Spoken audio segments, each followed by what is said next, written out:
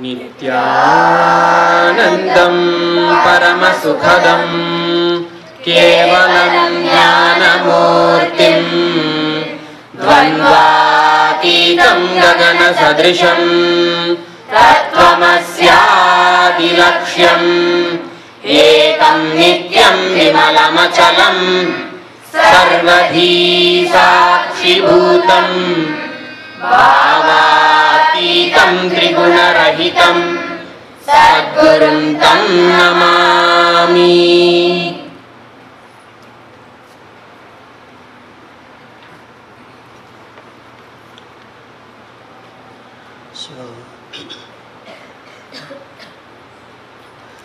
यस्याम् औषधभूषणध्वनिमयी मूर्तिपरा बैन्दवी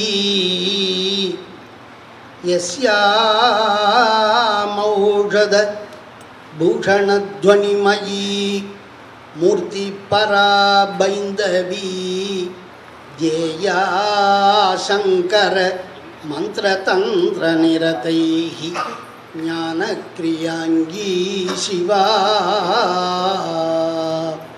सर्वैश्वर्यसुखप्रदा निरुपमा சாதாசிவி நிர்மலா.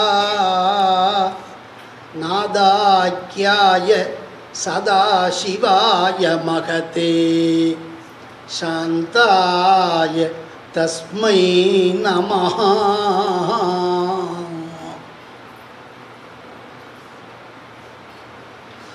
நாமளை உமையாளுடன் உடனாகிய ஒருவன் பெண்ணாகிய பெருமான் மலை திருமாமணி திகழ. மண்ணார்ந்தன அருவி திரள் மழலை முழவதிரும்.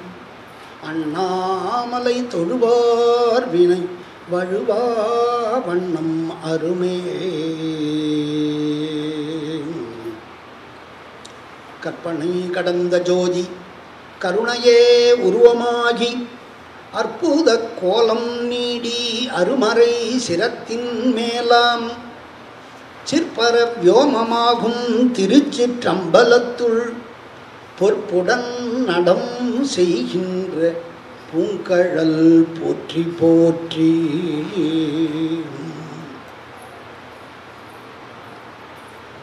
அருள் தரு அண்ணாமலையானுடைய பெருங்கருணையினாலே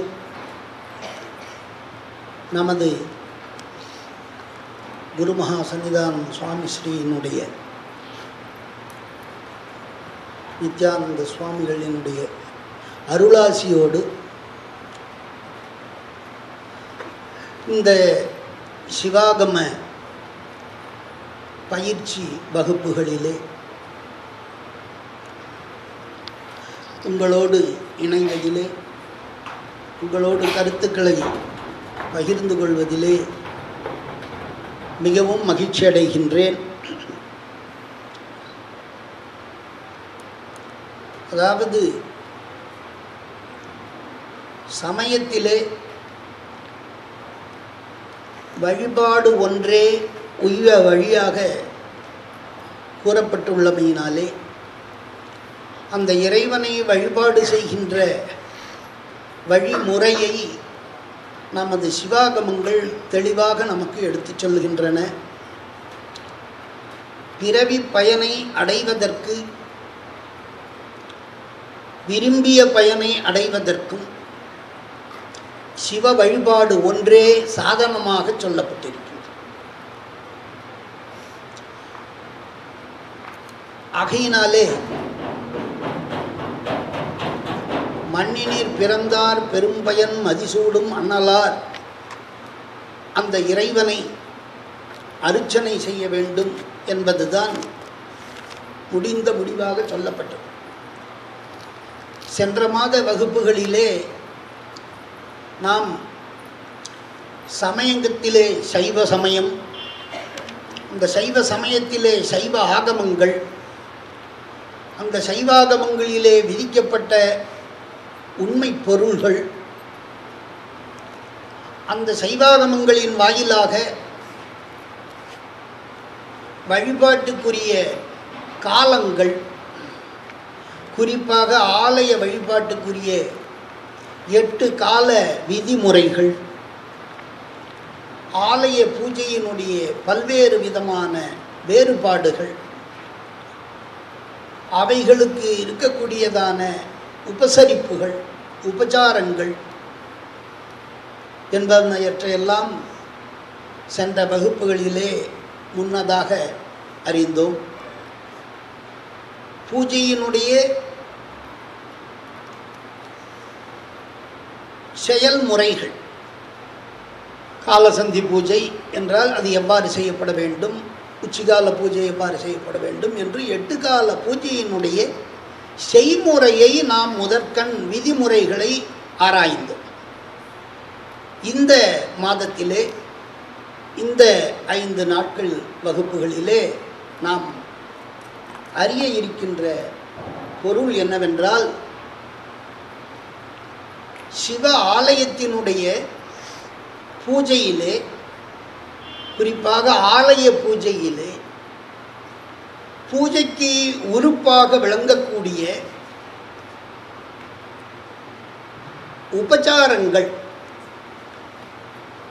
அவை ஐந்து உபச்சாரங்கள் பத்து உபச்சாரங்கள் பன்னிரண்டு உபச்சாரங்கள் பதினாறு வகையான உபச்சாரங்கள் இருபத்தி நான்கு வகையான உபச்சாரங்கள் முப்பத்தி ஆறு வகையான உபச்சாரங்கள் என்றெல்லாம் பல வகையாக அந்த பூசையினுடைய வகைக்கு ஏற்ப இருக்கின்றன என்பதை சென்ற வகுப்பிலே பார்த்தோம்.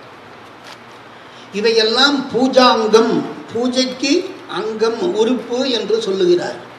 அந்த வகையில் ஒரு மனிதன் நிறைவு பெறுகிறான் என்று சொன்னால் எல்லா அவயவங்களும் முழுமை பெற்றால்தான் அவன் மனிதன் பூர்ணனாக ஆகிறான். ஒன்று குறைந்தாலும் அங்கஹீனன் என்று குற்றமுடையவனாக குறைவுடையவனாக விளங்குகிறான். அதே போன்று ஒரு பூஜைக்கு அதன் அங்கங்கள் ஒன்றும் குறையாமல் முழுமையாக செய்யப்படுமேயானால் அந்த ஆலய பூஜை பூர்ண பயனை கொடுக்கக்கூடியதாக விளங்குகிறது. ஆகாயத்திலே இருந்து விழக்கூடிய இந்த நீர் துளிகள் ஒரு குறிப்பிட்ட பாதையிலே விழுந்து அது நீராக பெருகி வந்தால் அது நதி என்று அழைக்கப்படும். அவ்வாறு இல்லாமல் பல இடங்களில் சிதறி விழுந்தால் அது ஆங்காங்கே மறைந்துவிடும். அது நதியாக உருப்பெறாது அதுபோல இறைவனுடைய வழிபாடு என்பது ஒரு வழிமுறையிலே பின்பற்றி நாம் அதை செய்தால்தான் அது நமக்கு பயனளிக்கக்கூடிய செயலாக விளங்குகிறது. ஆகவே அந்த பூஜையினுடைய அங்கம் அங்கம் என்றால் உறுப்பு என்றார் அதை முன்னர் குறிப்பிட்டோம்.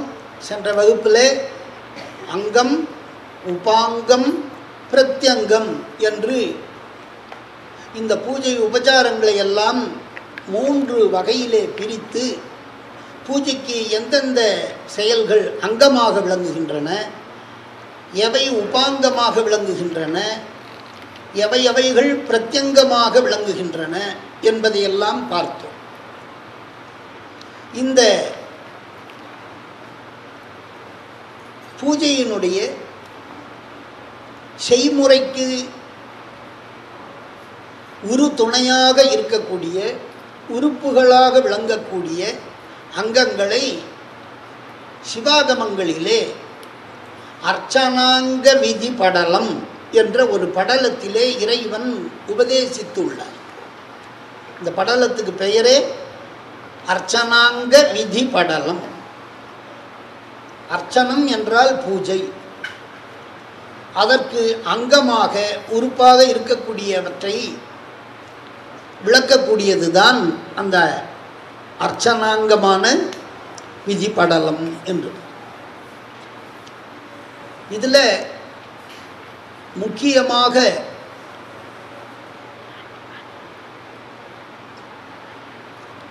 பத்து உறுப்புகளை சுப்பிரபேதாகமம் சிறப்பித்து கூறுகிறது.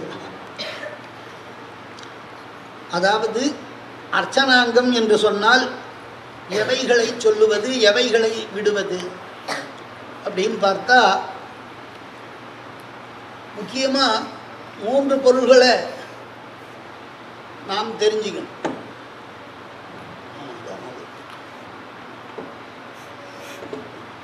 ஆசனம் மூர்த்தி மூலம்.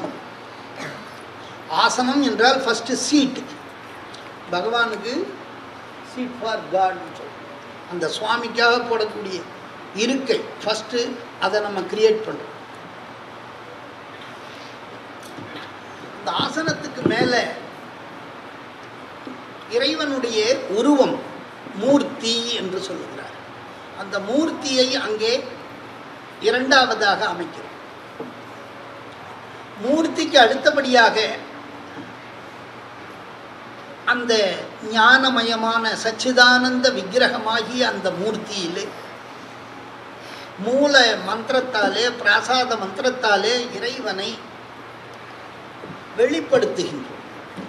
அதுதான் ஆவாகனம் என்ற பெயர். அப்படி ஆவாகனம் உத்வாகனம் இரண்டு பொருள். ஆ வாகனம் ஆ என்பது உபசர்க்கம்னு சொல்லுவாங்க. வாகனம்னா என்ன? தாங்கிறது. வாகனம் என்றால் உபசர்க்கத்தினாலே எங்கோ ஏழு அண்டத்துக்கு அப்பால் இருக்கக்கூடிய எங்கும் பரவி இருக்கக்கூடிய இறைவனை ஒரு இடத்திலே வெளிப்படுத்துவது ஆவாகனம் அதை பற்றி சில வகுப்பில் விளக்கமாக சொல்லப்பட்டது. இருந்தாலும் இப்போ முதன்மையாக ஒரு பூஜையிலே முதன்மையாக இருக்கக்கூடியது ஆவாகனம். முடிவாக இருக்கக்கூடியது உத்வாகனம். உத்வாகனம்னா மேலேந்து அவரை கூப்பிட்டோம். அழைத்து வைத்து பூசை செய்து உபசரித்து அவருடைய அருளை பெற்று பிறகு அவரை தாங்கள் விருப்பப்படி எங்கு வேண்டுமானாலும் உங்கள் விருப்பம் போல் இருக்கலாம் என்று விடை தருவதற்கு உத்வாகனம். உதுன்னா ஊர்துவம்னு அர்த்தம் வாகனம்னா மேலே இருக்க செய்யும். மேலே இருப்பவரை கீழே அழைப்பது அவதாரம் ஆவணம் போல் ஆவாம் வரவழைப்பது வெளிப்படுத்துவது. மின்சாரம் எங்கேயும் இருக்கு. அந்த பல்பில் அது பிரகாசம் வெளிப்படுது. அதுபோல் எங்கும் இருக்கக்கூடிய இறைவனை அந்த லிங்கத்திலே பிம்பத்திலே வெளிப்படுத்துவது ஆவாம் இந்த ஆவாகனம் விசர்ஜனம்னு இரண்டு பகு விசர்ஜனம் என்பார்கள் உத்வாகனம் என்று சொல்வார். விசர்ஜனம் என்றால் க விடுவது.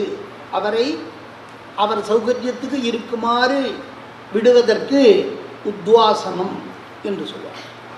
ஆவாகனத்தில் ஆரம்பித்து உத்வாசனம் வரையில் செய்யப்படுவது பூஜை. இந்த பூஜைகள் அர்ச்சனாங்கமாக செய்யக்கூடிய பூஜைக்கு அர்ச்சனை என்று சொன்னால் தீபாந்தம் அர்ச்சனம் புரோக்தம். கடைசியில் தீபாராதனை பண்ணி முடிக்கிற வரைக்கும் அப்படி தீபம் வரையில் செய்வதற்கு அர்ச்சனைன்னு பேர். நெய்வேத்தியாந்தந்து பூஜனம். இறைவனுக்கு அமுது படைத்தல் நைவேத்தியம் செய்தல் அதுவரையில் செய்யக்கூடியதற்கு பூஜை என்று பெயர். பல்யந்தம் சாந்திகம் புரோக்தம். எட்டு திசையிலும் அன்னத்தாலே பலி அளித்து திக்தேவதைகளை எல்லாம் மகிழ்வித்து இறைவனை ஆலயத்தை வளமாக உலா போரச் செய்து உற்சவத்தோடு முடிப்பது அத்தகையதான பூஜை சாந்திகம் உலகத்துக்கு சாந்தியை கொடுக்கும்.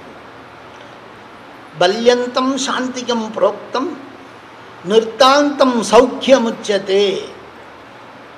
அப்படி உற்சவத்தின் முடிவிலே பரத சாஸ்திரப்படி பரதநாட்டியத்தோடு கூட நாட்டியாஞ்சலியோடு நிறுத்த உபச்சாரத்தோடு பூஜை செய்வது சௌக்கியத்தை கொடுக்கக்கூடிய பூஜை என்று நால் வகையாக ஆகமங்களிலே சொல்லப்படுகிறது. இந்த உபச்சாரங்களிலே ஆவாகனம் என்பது இறைவனை வெளிப்படுத்துவது. வெளிப்படுத்தின பிறகுதான் நம்ம உபசரிக்க முடியும். ஒருத்தர் வந்த பிறகு அவர்களை நாம் என்ன செய்கிறோம்? அவர்களுக்கு குடிக்க பருக நீர் தருகிறோம். அவர்களை பாத பூஜை செய்கிறோம். அவர்களை பாத்தியம் அர்க்கியம் ஆச்சமனம் இதையெல்லாம் கொடுத்து மகிழ்வித்து நல்ல வசதியான இருக்கைகளை அளித்து அவர்களை நீராட்டி அவர்களுக்கு வேண்டிய உபசரிப்புகளை எல்லாம் செய்யும். பிறகு முடிவிலே வழி அனுப்புகிறோம். அதே போன்று அதிதி தேவோபவா ஒரு இறைவனை ஒரு விருந்தாளியே இறைவன். அதிதி என்றாலே வர்ற தேதி தெரியாமல் வந்தால் தான் அதிதி நவித்தியதே திதின்னு எஸ்ய சகா அதிதி. யார் வர்றது தெரியாமல் திடீர்னு வந்து நின்னா அவ யாராக இருந்தாலும் வரவேற்கணுன்றது தர்மசாஸ்திரம். ஆ நல்லது. சொல்கிறீங்களா நான் ஓகே அந்த வகையிலே அந்த ஆவாகனாதி உத்வாசனாந்தமான பூஜை எத்தனையோ உறுப்புகளை கொண்டுள்ளது. ஒவ்வொன்றுலையும் போனோம்னா நாற்பது ஐம்பது கிரியைகள் இருக்கு. நீங்கள் எல்லாம் அந்த சிவ பூஜையை முறையாக செய்ய வேண்டும். அதற்கு தான் இப்போ இந்த பயிற்சி எடுக்கிறீர்கள். இது வெறும் தியரி பயிற்சி மட்டும் இல்லை. இன்னும் ஓரிரு மாதங்கள் இன்னும் ஒரு ஒரு மாதத்திற்கு பிறகு உங்களுக்கெல்லாம் ப்ராக்டிக்கல் கிளாஸ் ஆரம்பிச்சோம் அதுக்கு தேவையான செய்திகளை தான் இப்போ முதல்ல தியரி வகுப்பில் படிக்கிறீங்க. பூஜைன்னா என்ன என்ன அப்போ சொல்லும்போது இது என்னன்னு தெரியலையேன்னு அப்போ போய் விளக்க முடியாது. அதனால் விளக்கங்கள் முன்னதாக உங்களுக்கு அளிக்கப்படுகிறது. அதற்கு பிறகு படிப்படியாக உங்களுக்கு சிறு சிறு கட்டங்களாக பயிற்சிகள் அளிக்க இருக்கிறார்கள். அனைவரும் ஒரே முறையிலே முறையாக சிவ பூஜையை செய்ய வேண்டும் செய்து பழக வேண்டும். அதற்கு வேண்டியதான செய்திகளை எல்லாம் நீங்கள் ஏன்னா அப்போ யாரும் உதவி பண்ண முடியாது. நீங்கள் நீங்களாகவே எண்ணி துணிக கருமம் துணிந்த பின் எண்ணுவம் என்பது இழுக்குன்னார் வள்ளுவர். அவர் எதுக்கோ சொன்னார். அதுபோல் ஒரு காரியத்தை செய்கிறதுக்கு முன்னாடி அதை ஏன் செய்கிறோம் எதுக்கு செய்கிறோம் எந்த நோக்கத்தில் செய்கிறோம்? எவ்வாறு செய்கிறோம்? எந்த மந்திரத்தால் செய்கிறோம்?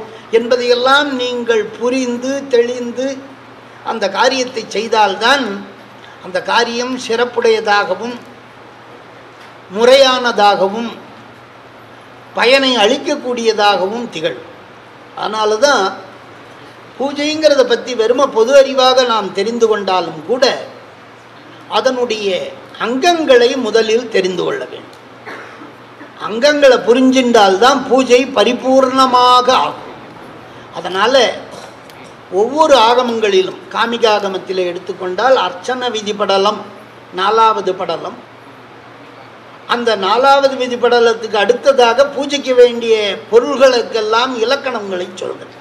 அர்ச்சனாங்க விதி படலம் ஐந்தாவது படலமாக இடம்பெற்றிருக்கு காரணாகமத்தில் எடுத்துக்கொண்டோமேயானால் முப்பதாவது படலம் அர்ச்சன விதி படலம் சிவார்ச்சன விதி படலம் அதற்கு அடுத்ததான முப்பத்தி ஓராவது விதி படலத்திலே அர்ச்சனாங்க விதி படலம் அந்த அர்ச்சனாங்கமாக ஒரு படலத்தில் மட்டுமல்ல அதை தொடர்ந்து நைவேத்திய விதி படலம் எவ்வாறு நைவேத்தியம் தயாரிக்க வேண்டும்?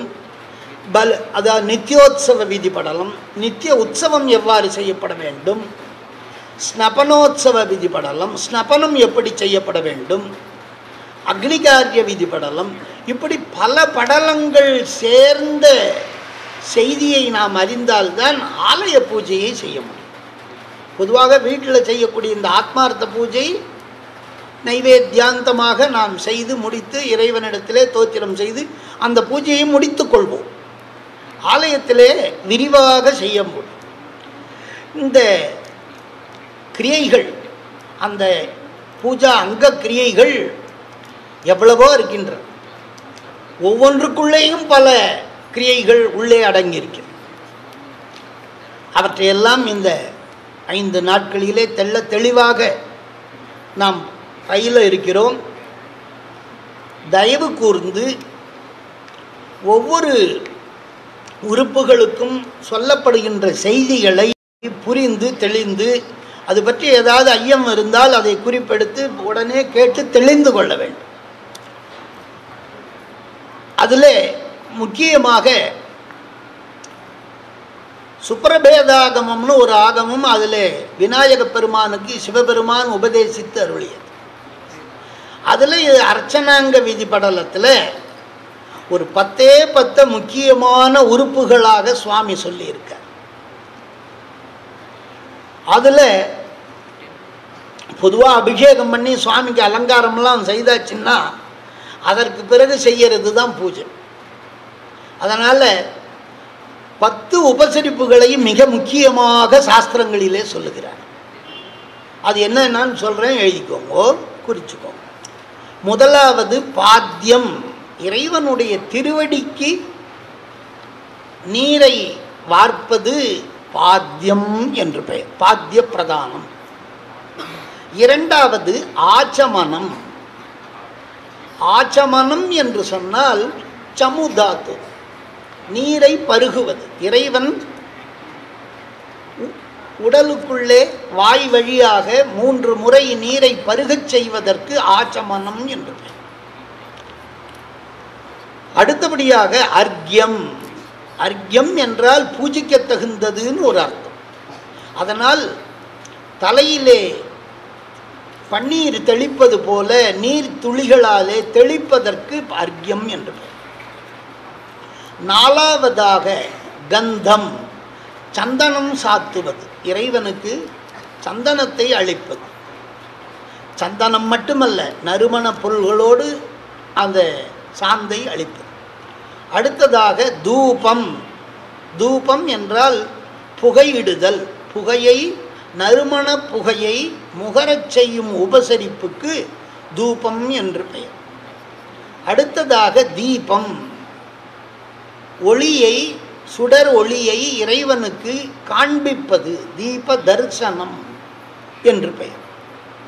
அடுத்ததாக எட்டாவதாக நெய்வேத்தியம் எது நிவேதனத்திற்கு உரிய பொருளோ அந்த பொருள் நெய்வேத்தியம் என்று அளிக்கும் கூறப்படும். தெரிவிப்பதற்காக வைக்கப்பட்டிருக்கக்கூடிய பொருளுக்கு நைவேத்தியம்னு பேர். அதை தெரிவிப்பதற்கு நிவேதனம் என்று பெயர். அப்படியாக நைவேத்தியம் இதை எல்லாவற்றிற்கும் சேர்க்கக்கூடிய இடமாக திகழக்கூடிய லிங்கம். சிவலிங்க பேதங்கள். ஒன்பதாவது. பத்தாவது நிறுத்தம் நிறுத்தம் என்று சொன்னால் உங்களுக்கு தெரியும். நாட்டியோபச்சாரம். இப்படி பத்து உபசரிப்பை பூஜைக்கு அங்கமாக தசாங்கம் என்று சுப்ரபேதாகமம் சொல்லுகிறது. இதை நான் அந்த சான்றை கூறுகிறேன். பாத்தியமாச்சமனஞ்சார்யம் கந்த புஷ்பஞ்ச தூபகம் தீபஞ்சைவ நிவேத்யஞ்ச லிங்க நிறுத்தம் தசைவது தசாங்கைஸ்து சமாயுக்தா பூஜா சிரேஷ்டா சிவஸ்ய தூ இந்த சுப்ரபேத ஆகம வாக்கியம் இவ் இத்தகையதான பத்து உறுப்புகளோடும் சேர்ந்ததாக செய்யப்படுகின்ற சிவ பூஜை தான் சிறந்த பூஜையாக. சிரேஷ்டா பூஜா சிவசிய சிவபெருமானுக்கு சிறந்த பூஜையாக கருதப்படுகிறது என்று பகவான் திருவாயினாலே அருளி செய்திருக்கிறார். இப்போ இந்த பூஜையினுடைய உபசரிப்புகளை இப்போ நாம் வர இருக்கக்கூடிய இந்த நான்கு நாட்களிலே பார்க்கக்கூடிய பொருள்களுக்கு அடிப்படையாக செய்யக்கூடிய அதாவது பாட திட்டம் சிலபஸ் மாதிரி இந்த மாதம் பூஜைகளை பொதுவாக மானச பூஜை என்று எடுத்துக்கொண்டால் பஞ்சோபச்சார பூஜை. மிகச் சுருக்கமான பூஜை. நிலம் நீர் நெருப்பு காற்று ஆகாயம். இறைவனுக்கு அளிக்கக்கூடிய அத்தனை உபசரிப்புகளுமே இந்த ஐந்து வகையான பஞ்சபூதாத்மகமான உபசாரங்களாக அமையும். ஆகவே ஐந்து வகையான உபசாரத்தை கொண்டு மட்டும் செய்யக்கூடியது மானச பூஜை. மிக சுருக்கமான பூஜை. என்ன என்ன? முதலாவது சந்தனம் கந்தம் இரண்டாவது புஷ்பம் மூன்றாவது தூபம் நான்காவது தீபம் ஐந்தாவது நெய்வேத்தியம். அஞ்சே உபசரிப்பு. இதுக்கு பேர் பஞ்சோபசார பூஜை. ஐந்து உபசார பூஜை. இதையெல்லாம் நம்ம ஒவ்வொன்றும் விரிவாக பார்க்க போகிறோம் அல்லது இந்த பூஜையை இந்த அஞ்சு உபச்சார பூஜையை இன்னும் பல வகையாக சொல்லுவார்கள். சுவாமிக்கு அர்க்கியம் புஷ்பம் கந்தம் புஷ்பம் தூபம் தீபம். அர்க்கியம் சந்தனம் புஷ்பம் தூபம் தீபம். அப்படி தீபாந்தமாகவும் இது சம்மதம் என்று சாஸ்திரங்களிலே சொல்லப்பட்டது இதை எங்கே செய்யப்படுகிறது என்று சொன்னால் கோவில்களில் துவார தேவதைகளுக்கு பண்ணுகின்ற பொழுது அதையெல்லாம் நாம் நைவேத்தியாந்தமாக செய்வதில்லை. அத்தகையதான அந்த துவார பூஜை மண்டப தெய்வங்கள் யாகசாலையிலே மண்டபத்திலே நான்கு வாசல்களுக்கு செய்கிறோம். அந்த வாயில்களிலே அரூபமாக பல தேவதைகள் எல்லாம் இருக்கிறார்கள். அவர்களை எல்லாம் பூஜை செய்கிறோம். அப்போ எல்லாருக்கும் அதிக உபச்சாரங்களை எல்லாம் பண்ண முடியாது. அப்போ நாம் என்ன செய்கிறோம்? அந்த தெய்வத்தினுடைய பெயரை சொல்லி அவருக்கு விஷ ஒரு அர்க்கியம் நீரோடு கொடு நீர் கொடுத்து சந்தனம் புஷ்பம் தூப தீபம் பண்ணி தீபாந்தமாக செய்கிற பூஜைகளுக்கு அர்ச்சனம்னு பேர். இதை தான் மண்டபார்ச்சனம். மண்டப தேவதார்ச்சனம் மானசார்ச்சனம் என்றெல்லாம் சொல்லுவார்கள். இப்படி ஐந்து உபசார பூஜை. அடுத்தது இரண்டாவது நிலையிலே தீபாந்தம் அர்ச்சனம் புரோக்தம்னு சொன்னோம் இல்லையா? தீபம் காட்டுறதை வரையில் செய்யக்கூடிய பூஜைக்கு அர்ச்சனை என்று பெயர். அதில் பத்து உபச்சாரம். என்ன என்ன பத்து? இரண்டாவது கட்டத்திலே நான் சொல்லுகிறேன். ஆவாகனம் நம்பர் ஒன். முதலாவது ஆவாகனம். இறைவனை அழைத்தல்.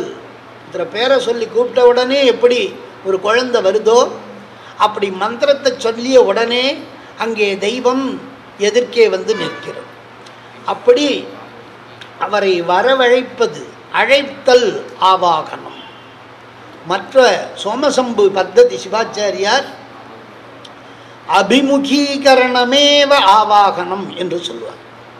பகவானை தன்னை நோக்கி இருக்குமாறு செய்வதற்கு ஆவாகனம் என்று பெயர். விமுகீகரணம் விசர்ஜனம்.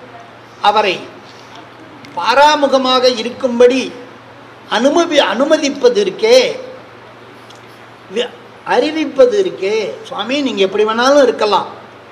என்னையே பார்த்து கொண்டு அபிமுகமாக இருப்பது ஆவாகனம். என்ன அழகாக அந்த சோமசம்பு சிவாச்சாரியார் சொல்லி அபிமுகீகரணம் என்னை நோக்கி இருங்கோ நான் உங்களை பூஜை பண்ண போகிறேன் அப்படின்னு தன்னை நோக்கி இருக்குமாறு செய்வதற்கு அபிமுகீகரணம். சுவாமி பூஜையெல்லாம் முடிச்சிட்டேன். விமுகீகரணம். நீங்கள் விசேஷமாக உங்கள் விருப்பப்படி இருக்கலாம். எங்கு வேண்டுமானாலும் பார்த்து கொள்ளலாம் என்று அவரை விருப்பப்படி இருக்கச் செய்வதற்கு அனுமதிப்பது வேண்டுவது அறிவிப்பது அதுதான் விமுகீகரணம் விசர்ஜனம் என்று சொல்கிறோம் அப்படி முதலாவது ஆவாகனம் இரண்டாவது உபச்சாரம் அர்க்யம். அர்க்யம்னா முதலே சொல்லியிருக்கு. அர்க்யம் தலையிலே நீர் தெளிப்பதைப் போல ஒரு உதிரணியினாலே இறைவனுடைய ஒரு தலைக்கு ஒரு முறை நீரழிப்பது அர்க்யம். அடுத்தபடியாக மூணாவது ஆச்சமணீயம். பத்து உபச்சாரத்தில் மூணாவது உபச்சாரம் ஆச்சமணீயம். முதல்ல இந்த ஒரு வரையறையை எழுதி கொள்ளுங்கள். பிறகு இதில் எது எதுக்கு விளக்கம் தேவையோ நீங்களே கேட்டு அறிந்து கொள்ளலாம். நாலாவது பாத்தியம் ஐந்தாவது ஸ்நானம். ஸ்நானம் என்றால் நீராட்டுதல். ஆறாவது கந்தம். ஆவரண பூஜை பஞ்சாவரண பூஜை. ஐந்து ஆவரண பூஜைக்கு பஞ்சாவரண பூஜைன்னு பேர். அடுத்தது நெய்வேத்தியம் சுவாமிக்கு பெரிய அமுது படையல். நிறைய நைவேத்தியம் பண்ணி சுவாமிக்கு நைவேத்தியம் அடுத்தது இருபத்தி நாலாவது ஹோம காரியம் நித்திய ஹோமம். நைவேத்தியத்தை முடிச்சுட்டு ஹோமம் பண்ணணும். அடுத்தபடியாக பலிதானம். ஹோமம் முடித்த பிறகு அன்னத்தால் வினா ரிஷபர் ரிஷபதேவர்லேருந்து ஆரம்பித்து துவார தேவர்லேருந்து பலிபீடம் வரைக்கும் பலி போடுறதுக்கு பலிதானம்னு பேர் இருபத்தி ஆறாவது ஜப சமர்ப்பணம். மூலமந்திரம் சம்ஹிதா மந்திரம். இதையெல்லாம் ஜபம் பண்ணி சுவாமிக்கு சமர்ப்பணம் பண்ணுறதுக்கு பூஜைக்கு அங்கமாக ஜபம் பண்ணணும் காலையில் அனுஷ்டானத்தில் பண்ணிட்டோன்னேன்னு விடுறது இல்லை. பூஜைக்காக உள்ள கர்ப்பகிரகத்திலே உட்காந்து கொஞ்ச நேரம் ஜபம் பண்ணி அதை தீர்த்த புஷ்பம் அர்க்கியத்தோடு சுவாமி கையில் வரதஹஸ்தத்தில் கொடுக்கணும். அதையெல்லாம் பின்னாடி பார்க்க போகிறோம் அதுக்கு ஒரு கிரியை ஜப சமர்ப்பணம் இல்லாமல் பூஜை பண்ணக்கூடாது ஜப சமர்ப்பணம். இருபத்தி ஏழாவது தியானம். உங்களுக்கெல்லாம் தெரியும்.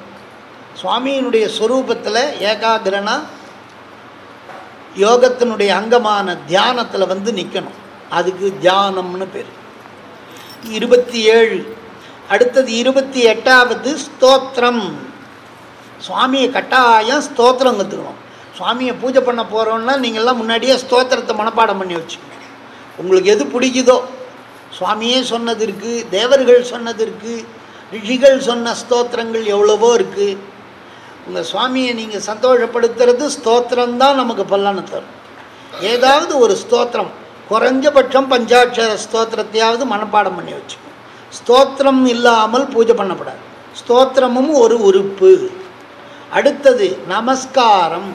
பூஜை பண்ண பிறகு கட்டாயமாக நமஸ்காரம் பண்ணிக்கணும். நமஸ்காரம் பண்ணாமல் விடப்படாது. இருபத்தி ஒன்பதாவது அங்கம் நமஸ்காரம். அடுத்தாவது சுவாமிகிட்ட நமஸ்காரம் பண்ண பிறகு நீங்கள் உற்சவத்துக்கு வரணும்னு விஜாபனம் பண்ணி உற்சவம். முப்பதாவது உற்சவம். முப்பதாவது உபசாரம் உற்சவம். முப்பத்தி ஒன்று கீதம் வாய்ப்பாட்டு. கீதம்னா வாயால் சுவாமியினுடைய சங்கீதம். சமயக்கு நல்ல கீதம் சங்கீதம். சம்முனா நல்லது. கீதம்னா கீதோபச்சாரம். கீதம்னா வாயால் பாடுவதற்கு கீதம்னு பேர். கானம்னு பேர். காத்திரம்னா உடம்புக்கு பேர். காத்ராத்து ஜாயத்தே இதி கானம். உடம்புலேருந்து வந்தால் தான் அது கானம். இல்லையா? இப்போ புல்லாங்குழலேருந்து வந்ததை வேணு கானம்னு சொல்கிறோம் வெறும் கானம்னு சொல்கிறது மற்றத்துக்கெல்லாம் வாத்தியம்னு பேர். துவனின்னு பேர். நாதம்னு பேர். நம்ம உடம்புலேருந்து வர்றதுக்கு தான் கானம்னு பேர். அதனால் கீதோபச்சாரம் வாத்தியம் அடுத்தது இன்னிசை. இசைக்கருவிகளினுடைய ஓசை. பதினெட்டு விதமான வாத்தியம் இருக்குது ஆறு கால பூஜைக்கு ஆறு விதமான ஸ்பெஷல் வாத்தியங்கள் இருக்குது எட்டு திசைக்கும் எட்டு விதமான இசைக்கருவிகள் இருக்குது அதிலெல்லாம் ஒவ்வொருத்தரும் எக்ஸ்பிளைனாக எக்ஸ்பர்ட்டாக வந்து அதை அதை வாசிக்கலாம். அப்படி வாத்தியம் இல்லாமல் பூஜை பண்ணக்கூடாது. வாத்தியமும் பூஜைக்கு ஒரு அங்கம் ஒரு உறுப்பு. அடுத்தபடியாக இருபத் முப்பத்தி மூணாவது நிறுத்தம்.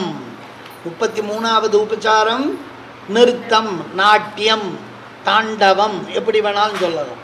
நிறுத்தம் நர்த்தனம் நாட்டியம் தாண்டவம். எப்படி வேணாலும் சொல்லலாம். அடுத்தது முப்பத்தி நாலாவது அர்க்யம் அர்க்யம்னா இந்த இடத்துல விசேஷ அர்க்யம் அப்படின்னு பேர். அடுத்தது முப்பத்தி ஐந்தாவது தாண்டவாஞ்சலி தாண்டவம். முன்னாடி தான் நிறுத்தம் சொல்லியாச்சு. இது என்னன்னா தாண்டவாஞ்சலின்னு பேர். கடைசியில் புஷ்பாஞ்சலி மாதிரி பண்ணுறது பரிவேஷம்னு பேர். பரிவேஷம்னு சொல்லிக்கலாம் முப்பத்தி ஐந்தாவது சுவாமியை சுற்றி கோவில் சுற்றி வந்த உடனே வாத்தியக்காரவா மேலே எல்லாருமே சுவாமியை மட்டும் சுற்றி வருவா மூணு முறை. அதற்கு பேர் பரிவேஷம்னு பேர். பரிதஹா சுற்றிலும் விஷயம் வேஷணம்னா அன்வேஷணம்னா சுற்றுதல். பரிதகா அன்வேஷனம் பரிவேஷனம் சுவாமியை உற்சவத்தால் பார்க்கலாம். கோபுர வாசலுக்கு வந்து நின்ன உடனே யார் யாரெல்லாம் வீதிக்கு போனாலும் அந்த மேலக்காரு வாத்தியக்காரு வேதம் வேதம் சொன்னவா தேவாரம் சொன்னவா எல்லாரும் அந்த பஞ்சமூர்த்தியும் சுற்றி வருவாங்க. தீவிட்டிக்காரன்லேருந்து அந்த மூணு முறை சுற்றி வர்றதுக்கு பரிவேஷம்னு பேர். அது ஒரு முக்கியமான கிரியை. அதை பண்ணி முடிக்கணும். இரு முப்பத்தி ஆறாவது விசர்ஜனம். விசர்ஜனம்ங்கிறது ஆவாகனத்தில் ஆரம்பித்து விசர்ஜனத்தில் முடியுது. இப்படி முப்பத்தி ஆறு உபச்சாரம் செய்வது. இது தாண்டவாந்தமான நிறுத்தாந்தமான பூஜை. இதில் இந்த உற்சவத்தில் காலம்பர புஷ்பலிங்கம் பூவாலேயே சிவலிங்கம் பண்ணி காலையில் காலசந்தி பூஜையின் போது உற்சவத்துக்கு புஷ்பலிங்கம்னு பேர். பூவாலேயே லிங்கம் பண்ணி பூஜை பண்ணி புறப்பாடு பண்ணும். நடுப்பகலில் அன்னலிங்கம் அன்னத்தை சாதத்தை நல்ல பக்குவமாக சமைச்ச சாதத்தை வெறும் சாதத்தில் அன்னத்தில் லிங்கம் பண்ணி அதை பூஜை பண்ணி சுவாமி கோவிலை சுற்றி வந்து அதை குளத்தில் கரைப்பாங்க. அதற்கு பேர் அன்னலிங்கம்னு பேர். சாயங்கால பூஜையில் அக்ஷத்தலிங்கம் அரிசியை ஊற வச்சு வெல்லம் காப்பரிசி மாதிரி அதில் பிள்ளையார் மாதிரி லிங்கத்தை பண்ணி அதை புறப்பாடு பண்ணுறது அதுக்கு பேர் அக்ஷதலிங்கம்னு பேர். அக்ஷதலிங்கம். இப்படி மூணு வேளையில் மூணு லிங்கம். மூணு வேளையிலையுமே அன்னலிங்கத்தையும் பண்ணலாம். அல்லது காலம்பரிய மத்தியானமும் அன்னலிங்கம் பண்ணிட்டு சாயங்காலம் அக்ஷதலிங்கம் பண்ணலாம் அரிசியால்.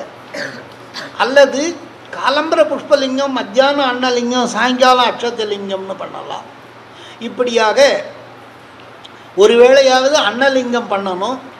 மூணு வேளையிலையும் புஷ்பலிங்கம் பண்ணக்கூடாது மூணு வேளையிலையும் அக்ஷதலிங்கமும் பண்ணக்கூடாது. மூணு வேளையிலையும் பண்ணக்கூடிய ஒரே லிங்கம் அன்னலிங்கத்தை மட்டும்தான் மூணு வேளையும் பண்ணணும். இப்படி பார்த்தோம். இப்போ இதெல்லாம் கோவில் பூஜையில் ரொம்ப சிறப்பாக பண்ணக்கூடிய பூஜைக்கு சொன்னீங்க.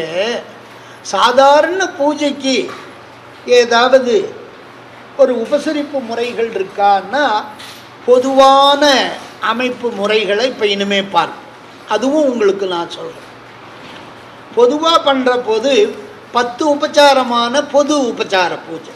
ஒரு பூஜையில் இடம்பெறக்கூடிய சாமானிய உபச்சார விதி. சாமானியம்னா என்ன? சர்வ சாமானியம் எல்லாருக்கும் அனைத்துக்கும் பொதுவானது. என்ன என்ன? ஒன்று முதலாவது ஆவாகனம். இரண்டாவது ஸ்தாபனம்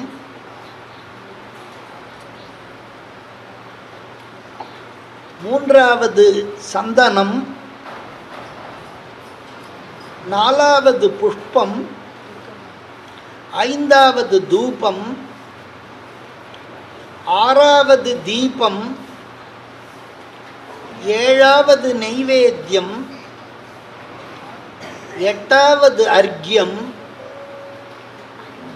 ஒன்பதாவது ஆச்சமனம் பத்தாவது விசர்ஜனம். பத்தாவது விசர்ஜனம். இதில் ரொம்ப ஒன்றும் வராது. சுருக்கமாக ஆவாகனம் விசர்ஜனம் ஆதி அந்தமும் போயிடும். நடுவில் எட்டில் ஸ்தாபனம் சுவாமியை உட்கார வைக்கிறது சந்தனம் புஷ்பம் தூப தீபம் நைவேத்தியம் அர்க்கியம் ஆச்சமனம் பண்ணி சுவாமியை விசர்ஜனம் பண்ணி இது ரொம்ப சிம்பிளான ஒரு மெத்தட் இது ஒரு முறை.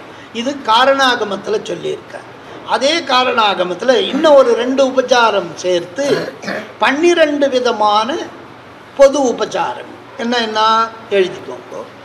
ஒன்று பாத்தியம் ரெண்டாவது ஆச்சமனம் மூன்றாவது அர்க்யம்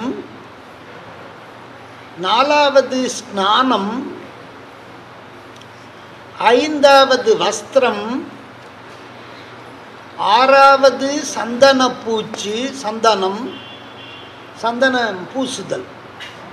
ஏழாவது புஷ்பம் எட்டாவது தூபம் தீபம் ரெண்டுமே. தூபமும் தீபமும் தூப தீபம். ஒன்பதாவது நெய்வேத்தியம் இல்லை ஒன்பதாவது தீபம். எட்டாவது தூபம் ஒன்பதாவது தீபம்னு வச்சுக்கோங்க. பத்தாவது நெய்வேத்தியம் பதினொன்று நமஸ்கார முத்திரை. நமஸ்கார முத்திரை காட்டுறது. பன்னெண்டாவது மந்திர ஜபம். நான் பன்னெண்டு உபச்சாரப்படி பூஜை பண்ணுறேன்னா இந்த ஜபாந்தமாக பூஜை பண்ணணும். ஜப சமர்ப்பணம் வரைக்கும் நம்ம ஆத்மார்த்தமாக பொதுவாக பூஜை பண்ணலாம். இது ஒரு முறை.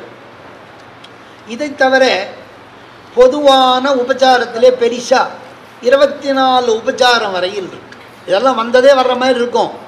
ஆனால் இதெல்லாம் ஆய்வுப்படுத்தி உங்களுக்காக கண்டுபிடிச்சு சொன்னது. வரிசைப்படுத்தி சொல்கிறோம் பொதுவான இருபத்தி நாலு வகை உபச்சாரம். எழுதிக்கோங்க. முதலாவது ஆசனம் இரண்டாவது ஆவாகனம்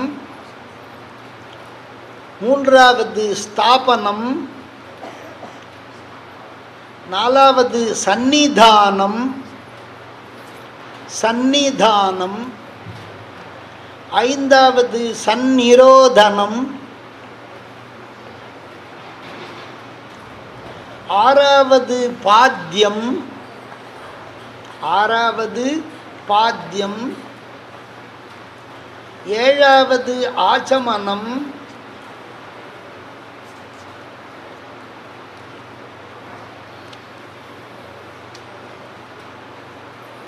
எட்டாவது அர்க்கியம் ஒன்பதாவது ஸ்நானம். ஸ்நானம்னா அபிஷேகம். ஒன்பதாவது ஸ்நானம் பத்தாவது வஸ்திரம் பதினொன்றாவது கந்தம் சந்தனம் பன்னிரெண்டாவது பூஷணம் ஆபரணங்கள் திருவாபரணம். பதினாலாவது புஷ்பம். பதினா பதிமூணாவது புஷ்பம். பதினாலாவது தூப தீபம் தூபம் தீபம் ரெண்டும் பதினைந்தாவது நெய்வேத்தியம் பதினாறாவது பலி. பதினேழாவது அக்னிகாரியம். பதினெட்டாவது கேயம். கேயம்னா வாய்ப்பாட்டு. கேயம். கேயம்னாலும் கீதம்னாலும் ஒன்று தான் கேயம். பத்தொம்போது வாத்தியம். வாத்திய கோஷம்னு பேர். கோஷம்னா இசைன்னு அர்த்தம். இருபதாவது உற்சவம் அதாவது பாதுகார்ச்சனை உற்சவம் அல்லது பாதுகார்ச்சனை. பாதுகார்ச்சனைன்னா சிவனுடைய பாதத்தை பூஜை பண்ணி புறப்பாடு பண்ணுறது அதெல்லாம். இருபத்தி ஒன்றாவது பிரதட்சிணம் கோவில பிரதட்சிணம். பிரதட்சிணம் பண்ணுற முறை. இருபத்தி இரண்டாவது நமஸ்காரம். எப்படி எப்படியெல்லாம் நமஸ்காரம் பண்ணுறது அந்த நமஸ்கார முறைகளில் ஏதாவது ஒன்றை பின்பற்றுவது இருபத்தி மூணாவது ஜபம். ஜபம் பண்ணுறது இருபத்தி நாலாவது சுழுகோதகம் சுழுக்க உதகம்னா நீர்னு அர்த்தம்.